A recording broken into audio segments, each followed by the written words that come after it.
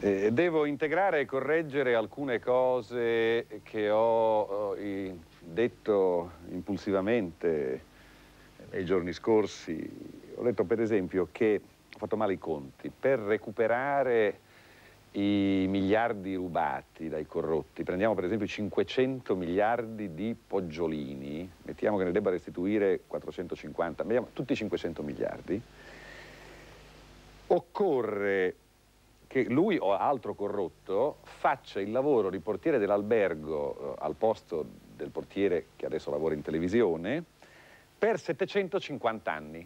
Ho sbagliato, perché ipotizziamo che si, siano 50 milioni all'anno lo stipendio di un portiere, per 750 anni, mettiamo 1000 anni, fanno 50 miliardi.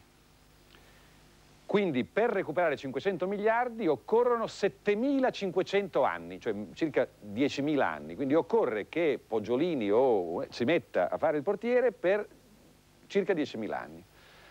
Un'intera era, un'era un dell'umanità, quindi una cosa prima della storia, no? perché non, non, si vede più. C'era un bellissimo grafico, mi ricordo, in un museo dove sono stato, in che città? In quel museo, a Campli, a Campli, a Campli andammo a vedere questo museo in cui c'era, è costruita molto bene, come un'immagine astratta, sarebbe da ricostruire in grafico, una serie di strisce, una, due, tre, quattro, cinque, sei, dieci strisce, tutte nere, e poi una striscia nera e in piccola parte bianca, che eh, indicava gli ultimi eh, 6.000 anni dell'umanità.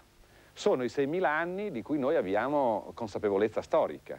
Tutto il resto, tutte le altre strisce nere, sono il tempo senza la storia cioè gli anni in cui l'uomo eh, c'era, ha fatto, ma non ha fatto niente di storicamente così eh, visibile da essere registrato nei libri di storia dell'arte, quindi egizi, greci, eccetera. La parte della storia è una porzione così piccola rispetto a dieci strisce lunghissime nere di buio della notte della, della preistoria, notte di tempi senza storia e senza tempo. Ecco, chi debba recuperare, chi debba ridare i soldi rubati deve risalire fino alla preistoria, verso quel nero dove andando in, figuriamoci, questo soltanto il Poggiolini, poi ci mettete davanti tutti gli altri, Craxi, Pomicino, De Lorenzo, tutti insieme arrivano alla preistoria, devono lavorare per 100.000 anni, sempre come portiere d'albergo, eh? lavoro da uno stipendio buono, e, 50 milioni, 50 milioni all'anno, cioè di più, un po' meno, anche meno, allora devono lavorare 10.120 anni.